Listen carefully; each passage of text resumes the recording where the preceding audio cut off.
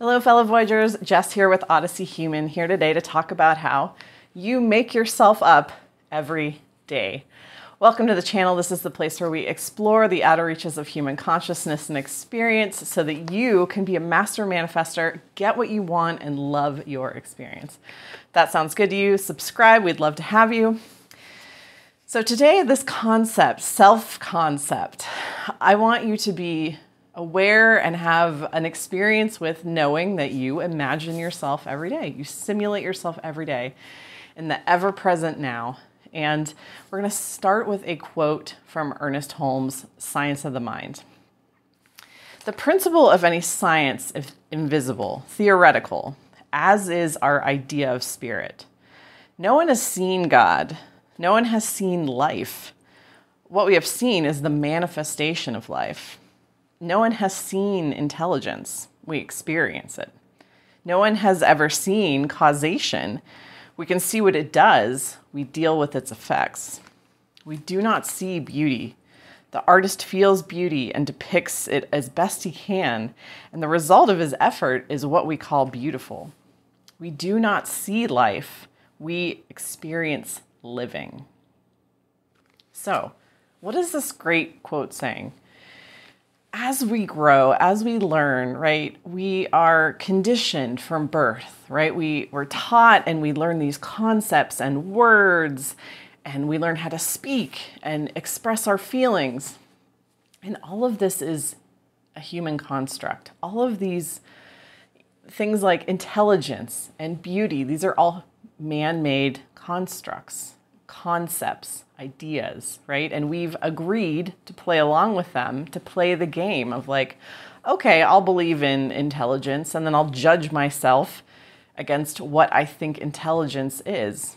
The thing is, they're all man made constructs.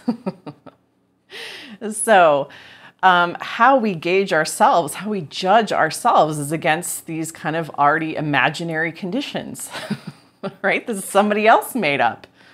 And who are they? Who are they to be the ultimate authority on it, right? So, so this operating system that we're working inside in this hologram is all is all imagine it's all made up. It's already imagination. It's been imagination since the moment you were first aware of coming into the world being a baby. You know you were introduced to these imaginary concepts. You played along with them. And you made judgments about yourself. We made judgments about ourselves and who we are against the, this ruler of, you know, this yardstick of an already imaginary concept. We then piled our own imagination, our own simulation on top of that of, oh, this is what beautiful is and this is what it is not. This is, and it's in the eye of the beholder, remember? so, so all of these things that we think we are are like, imagination on top of imagination on top of imagination. And so, my reminder to you is everything that you think is concrete, everything that we think is concrete about ourselves, about the world, in every moment, it's just our own projection. And at any point in the present now, in the now moment, we can say, I am healthy. Even if you've been suffering from whatever it is for years and years and yesterday and the day before that and the day before that you were not healthy. You judged yourself as not healthy. Today in this very moment you can choose to be healthy. You decide. You decide on the in the imagination of imagination. And so and even you know when we say when we look at the world and say well my body is telling me i'm not healthy or uh, someone in my life is telling me this again that's their imagination, that's our interpretation and our interpretation of the data from our body. So, say our, we're feeling pain or whatever, that is our interpretation, and we're going to filter it through whatever story we're holding as our truth. So, of course, anything, any signal you get from your body, you're going to interpret it as I'm not healthy. Oh, that's proof I'm not healthy. But really, the data itself is neutral. It's totally neutral. Sometimes pain can mean we're healing, right? Sometimes pain can mean we're growing, growing pains.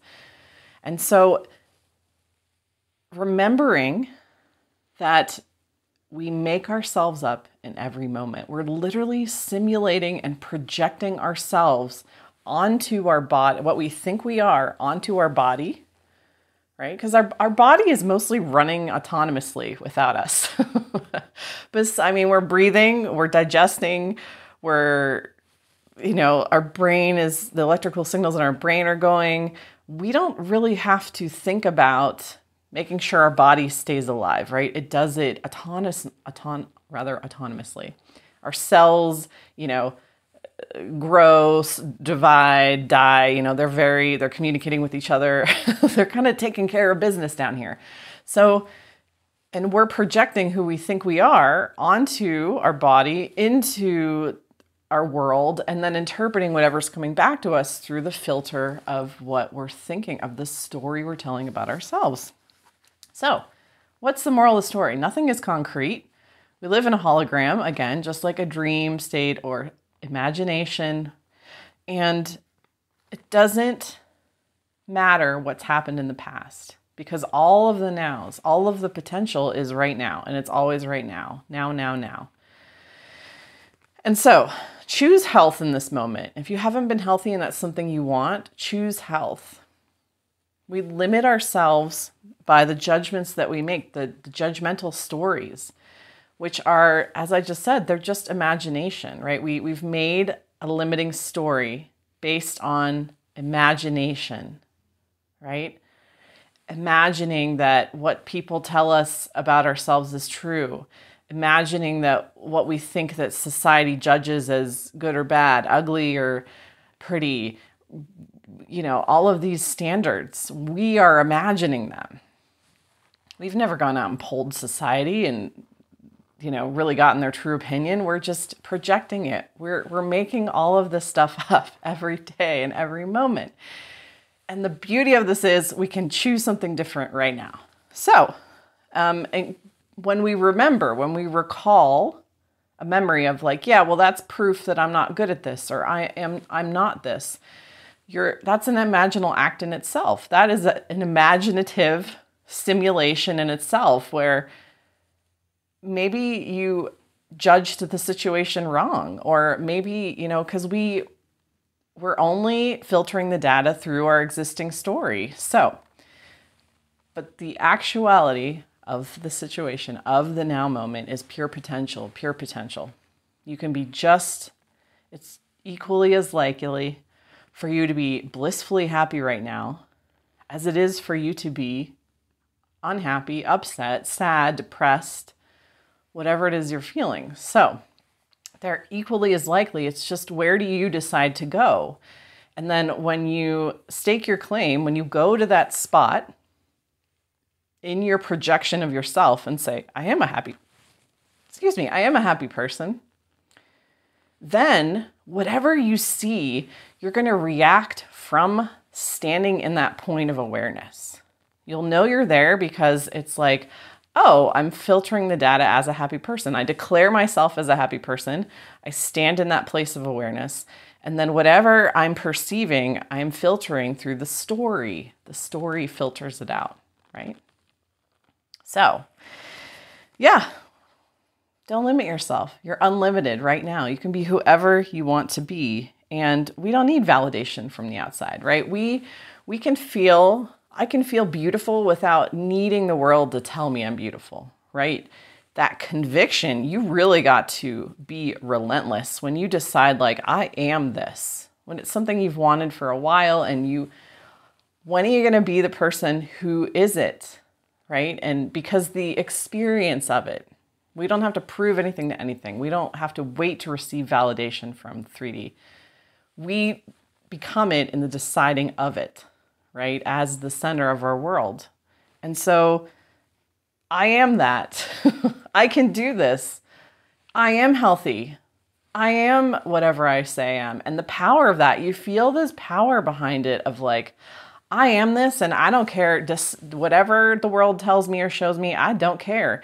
And guess what? If it shows me something I don't like and don't agree with, I'm going to revise it because my experience my experience of who I am, right, is not in the proof, it's in the being.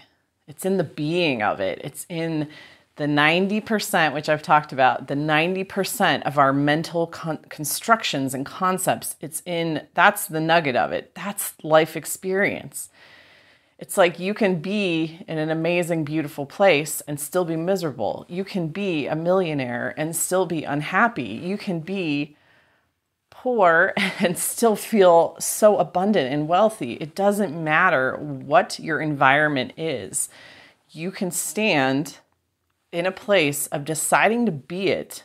Very, indi- I've called it indignant before, but very like, this is who I am. I don't care whether I'm feeling pain in my body. I am healthy. I am healthy. And the power of that, the power of that, claiming that power of recognizing that you're making yourself up in every moment. You're literally just projecting a story of who you are into the hologram and then filtering through that projection, filtering everything that comes back to you through that story. So, I hope this was helpful because your experience matters. Your your desires matter. Who you desire to be and what you desire to have, you can be it right now. You don't need evidence of it. You don't need proof. Yeah, the proof and the evidence is great and it's going to come when you claim that level of this is who I am. Making myself up right now. This is no different than a dream world or imagination. I am, my experience is creative. I create myself and I project that onto my body through my mind, and then I receive through that projection, and I get to decide what that projection is. And to hell with everything else. so, feel the power of that, my friends. Thanks for watching. Leave a comment below. Hope this was helpful. Have a wonderful day. Bye.